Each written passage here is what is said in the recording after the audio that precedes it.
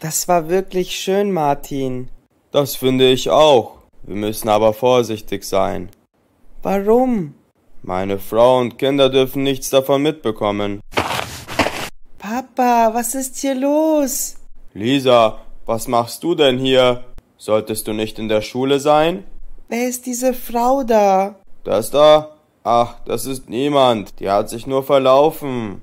Was macht sie dann in deinem Bett? Es äh, gab ein Problem mit der Matratze. Sie hat mir dabei geholfen. Ich weiß, was hier los ist.